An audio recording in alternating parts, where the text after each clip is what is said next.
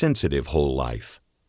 Interest-sensitive policies can earn a higher rate of interest on the cash value than traditional whole life policies. Three types of interest-sensitive whole life are universal, variable, and equity indexed. Universal life is a combination of term life and cash value invested at a guaranteed minimum interest rate. It is considered whole life because it lasts until age 100.